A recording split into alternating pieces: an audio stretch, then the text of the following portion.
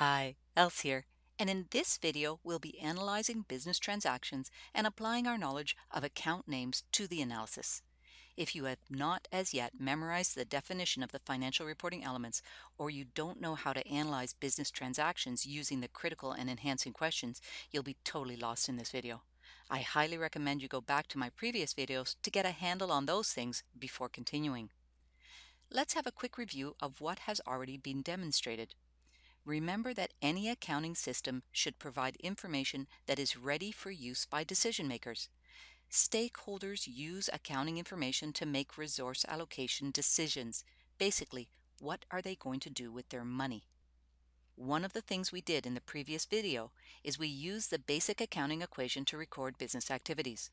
We discovered that although it provided information about the financial position of the company, for instance, assets are equal to $1,975 and they equal the liabilities of 250 and equity of 1,725. It was not able to tell us much more than that. For instance, if we wanted to know how much profit the business made, the basic accounting equation wasn't able to tell us that. We then used the expanded accounting equation to gain additional information. For instance, by using the expanded accounting equation, we know that profit was $1,375, which is made up of revenues of $1,450 less the expenses of $75. However, we still don't have details. For instance, the composition of our assets or what type of expenses we have is unknown. This is important information for decision making by all stakeholders involved in the business. Even though the expanded accounting equation gives us more information than the basic accounting equation, it's still not enough information for decision making. In the last two videos, you were introduced to accounts, common subgroups of financial reporting elements that are used to accumulate, or gather together, business activities and make them more meaningful. With the addition of accounts, the accounting system can be used to produce financial statements that stakeholders need in order to better understand the business. Remember that the financial statements tell the story of the business, its financial position and profitability. Statements are used by external stakeholders to make decisions about their interaction with the business. As in all our past videos, we have a set way to analyze the transactions using the critical and enhancing questions.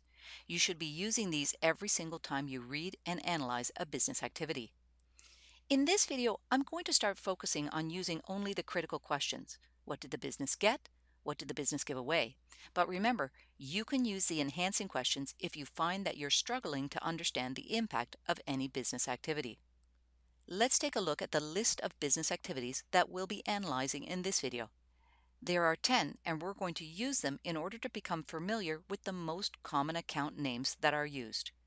Remember that this question is available to download immediately below the video in the description. I have loaded it into my Dropbox and you can copy and paste the URL into your browser to download the question before continuing. As in all my past videos, I really recommend that you download the question analyze the business transactions and record them in the basic accounting equation using account names before you watch me do it. This is the only way you can test your understanding of the concepts and correct your misconceptions. Here again are all the transactions we'll be analyzing and recording using the basic accounting equation and account names. Let's get started. 1. The owner contributes $2,500 cash to start the business. What did the business get? Cash of $2,500, which is an asset because it's owned, has future benefit for the business because it can be used to help generate revenue, and it is due to a past transaction. The cash account increases by $2,500. What did the business give away? They gave away part of the business, ownership in the business. That's equity, which is now owed to the owners. The account we use to represent ownership in the business is owner's capital, which is increasing because the business owes more to the owner than it did before this transaction. Owner's capital increases by $2,500. Note that the equal sign is then an excellent check of your logic. If the mathematical equation is correct, then your entry balances and it is also correct. Moving on. 2. Received a $2,500 interest-free loan from the owner's parents. What did the business get? Cash of $2,500, which we know is an asset, so we won't go over that again. The account cash increases by $2,500. What did the business give away? The business gave away an IOU, a promise to pay $2,500 in the future, so liabilities increase by $2,500. The account name to use to represent this? Loans payable. Loan payable increases by $2,500.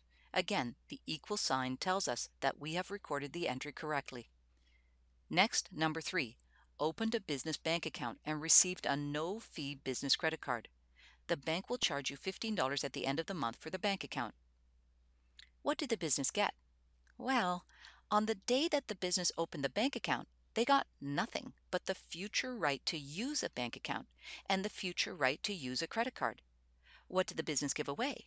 The business gave away a promise to pay $15 at some point in the future after they have had the use of the bank account and credit card. So today they have given away nothing and they have received nothing because they have not used anything yet. This is an event and is not recorded into the business's financial accounting system.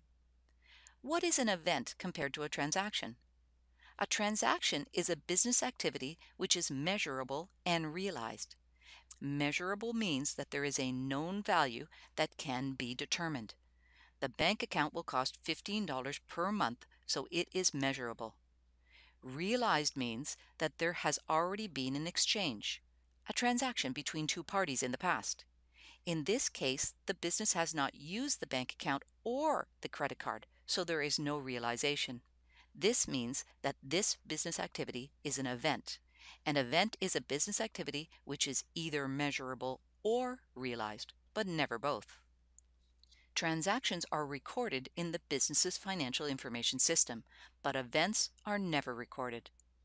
Events have to be denoted as no entry so that the marker knows you considered the business activity and came to a decision about the fact that it should not be recorded. Let's take a short break and we'll continue the remaining transactions in the next video.